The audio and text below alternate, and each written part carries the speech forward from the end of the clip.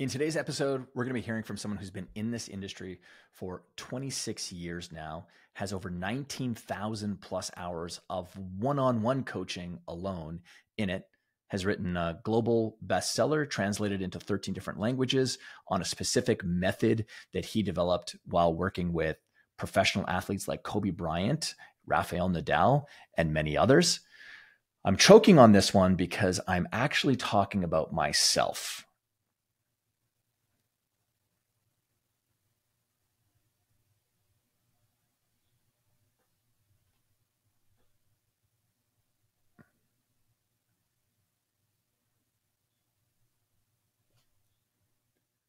Now I don't have anyone else to come into the ho- now I don't have anyone else to come into this show and host it. So the inaugural episode of interviewing someone on a key idea, skill, or ability that's helped transform their coaching is with myself. So I had to do my intro. I hope you'll excuse it uh, because I'm not here to puff up my chest. I love this industry and I'm going to be consuming and accumulating a lot more hours, more than that 19,000 hours that I've already done over the last 26 years.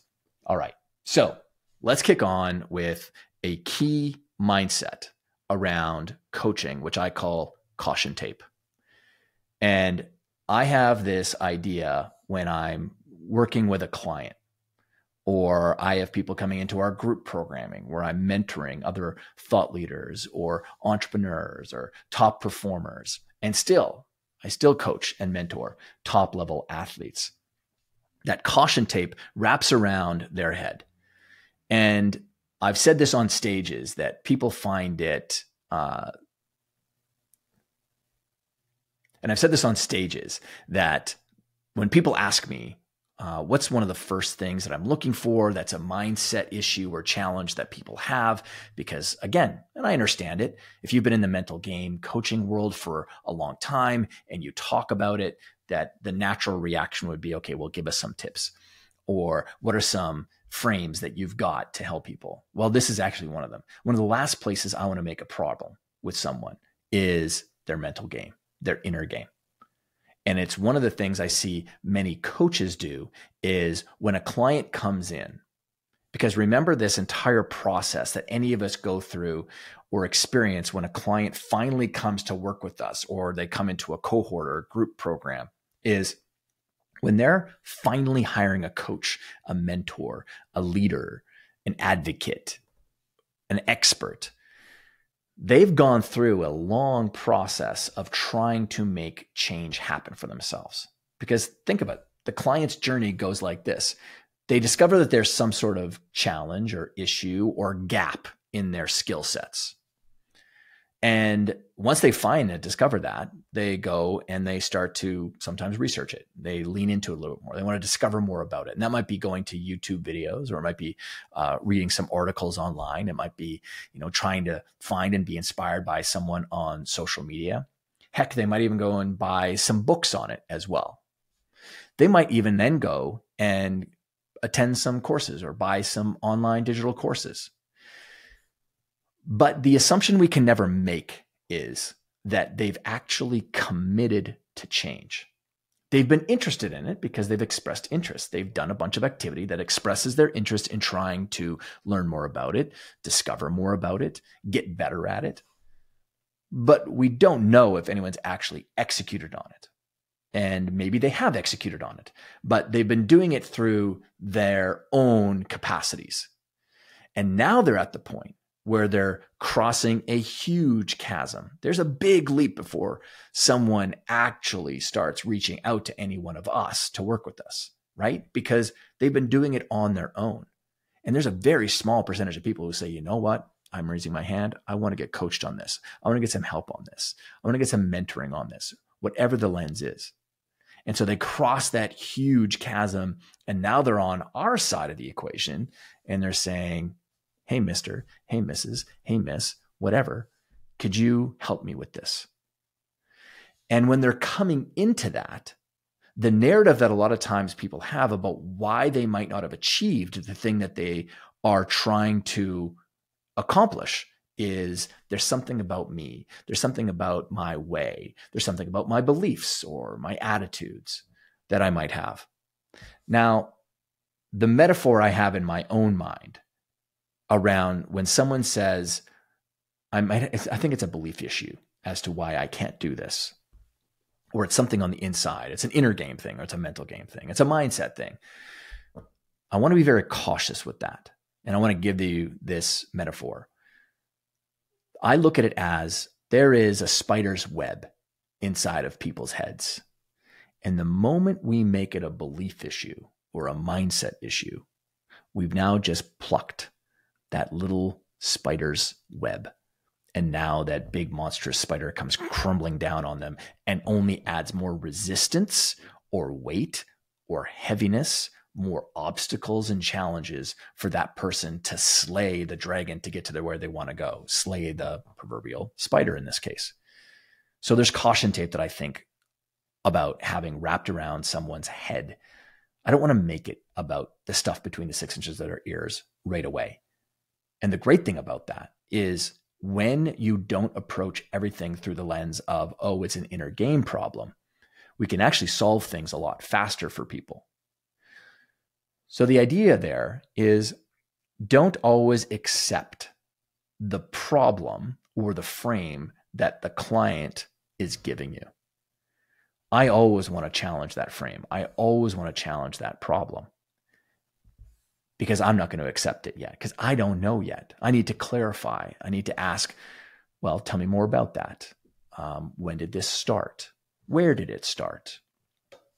And ultimately, if I can make something actually an issue in their environment, which is one of the largest reasons for success in our lives, shaping our environment so that it makes it easier for us to go and do the thing. It's like greasing the slide, so to speak. If I can make it, no, no, no, before you make it about yourself, it's literally that your environment isn't set up for your success. So let's just shift the environment. Let's move the papers around. Let's, you know, lay out the clothing in the morning or making it very simple for someone. And they go, oh, really? It's not. And remember, because you're an authority, you have credibility with people.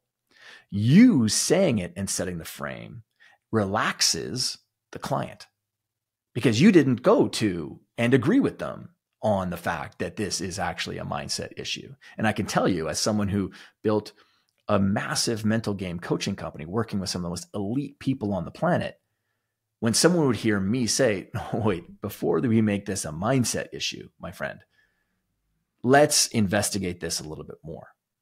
I'm breaking their frame. They're like, oh, wait, but I thought you were the mindset guy. No, no, no. Yeah. Yes, we do help people on that. But a part of the world of mindset is also organizing the environment or helping to shape better behaviors and routines or rituals in your life which are all at the physical level. I'm not going inside quite yet. It's one of the last places that I want to go. Now, again, when you're coaching people through that process, you are shifting paradigms. So it is a process of shaping the mental game, but I'm not diving into beliefs. I'm not diving into attitudes and plucking that spider's web and creating more resistance than I ever need to be. And I've seen this happen because a lot of clients will have come to myself and maybe even you over the years that have gone through many other coaches or leaders or experts or mentors, whatever the case might be.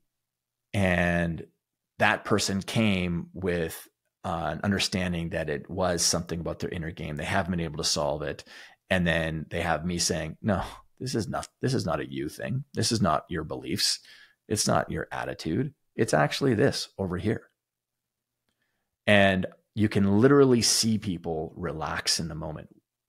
And that is one of the great gifts of what we get to experience every single day is seeing someone, whether it's in a video when you're doing something online with them, or it's in a physical location, or it's in a workshop, and you can see stress and anxiety melt off of them because you just shifted their perspective and melted away a bunch of the invisible strings that were holding them back. You clipped them for people. So when you're working with people, avoid this natural superpower that many coaches feel like they have. And that superpower is bringing that ultimate big sledgehammer that you've got and you swing it and you can crush a belief issue. You can crush an attitude issue. You can crush some of those internal paradigms that hold people back. But if you always swing that big hammer, that means you're always making it about beliefs and inner game challenges for people, which is a mistake. So we want to make sure that we're honoring who it is that's in front of us. And we need to make sure that we're investigating really well with someone with great questions, diagnostically trying to dig in and find a root cause that might be there. And not all root causes lead back to deep inner belief challenges for people. Sometimes the root cause is they're just using the wrong tool which is a physical thing. Be mindful of that massive ecosystem that we operate in when it comes to human or organizational performance. And so, if we're only flexing our muscle and saying, Oh, look how great I am, look how powerful I am, and I'm going to go and attack those deep recess issues that might be inside of us, uh, we might be creating problems for people that are just fundamentally not even there. And we all know, based on spiritual, based on psychological traditions, that because of the narrative around beliefs, and we all have them, it's unavoidable. The narrative is that when something is a belief issue for someone, that's deep, that's challenging, that's difficult to overcome. Remember, your clients are coming with that already existing paradigm even coaches thinking, okay, well, this is going to be a belief issue with people. There's a weight to that. There's a challenge to that. There's a timeline to that as well. It's like it's going to take several months to do it. Well, what if it doesn't need to take several months because it's not a belief issue? And because people have this pervasive narrative around something being a belief issue, it creates a bigger challenge than it needs to be. So when you pull back and you say, you know what, this isn't a lack of belief that you have. I know you've been saying that. And that's the one that you've glommed onto. That's the one that you've attached yourself to. But what if it wasn't a belief issue? And that's a key question. Keep that in your back pocket. What if this isn't a belief issue? Even the tonality of it, the way you say it, you're, you're lightening the load with the tonality. What if it wasn't a belief issue? I've been doing this a really long time. And I'm not convinced that you have a belief issue here. I think it actually might be something else that's going on. And you're allowing that person to then settle into a new idea. What you're also doing is you're removing the opportunity for them to embrace a story or narrative that might be holding them back because that's their consistent narrative. Oh no, it's a me thing, it's a belief issue. And you're saying, hey, listen, I've been doing this for a long time. I'm not convinced. I've seen this happen over and over and over again. A line that I use all the time is this is just eating Cheerios for me. I eat it every single day. I do this every single day. And this is pretty simple. Inviting people into a brand new possibility then opens up a doorway for them to accept to for them to then accept a new paradigm and if i can get them to accept that even if it was a belief issue i can get them to settle down their nerves which then creates a space for us to tackle a new possibility for people. So after doing this for 26 years and all of these hours and thousands of hours of working with people, that's just one of the frames and ideas that I have for you, which is think of caution tape around people's heads. One of the last places I want to make a problem for people is their beliefs about themselves and the world around them. and instead chunk it up to something that might be lighter or easier or more simple, something that's more actionable. It might be in their environment, it might be in their behaviors, something that is easy to implement as a habit or a new routine, and lighten that load for people. Because I think you and I both know after our own experiences of working with people, there's a lot of people carrying around some pretty heavy weights. And um, that's what I love about coaching is if we can reach into that backpack that people are wearing that's invisible to them and we can lighten the load and take it out and you can physically see the shift that happens in them where they, you know, actually de-stress, they de-anxiety for themselves that's that's one of those feedback loops that we get to be paid with beyond the monetary side of things every single day um, which then can make a super big impact in the way that that person shows up in the world and who they then go and impact whether it's their own kids it's their spouses it's their own teams it's just being a better citizen in the world. This is the most beautiful part about coaching is those uh, amazing ripples that we all get to create in the world. So there you have it. Our very first episode done in the books, in the can. You won't need to hear from me and only me in most of the other episodes. I might come in and drop another one every now and then, sprinkle in some, but um, I hope you'll enjoy all of the other amazing guests that we've got waiting for you over the next several weeks, months, and years because like I said, I've been doing this for 26 years and I'll be doing it on my very final day on this planet. I know it. I hope that's the gift that I get to give uh, to other people. So thanks again. And we will see you in the next episode.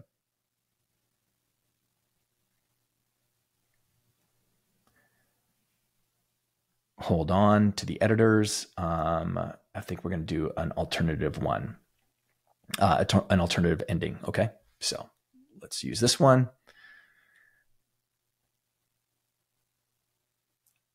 So there you go. That's the end of our very first episode around uh, a skill, a technique, an ability to help you uh, level up as a coach.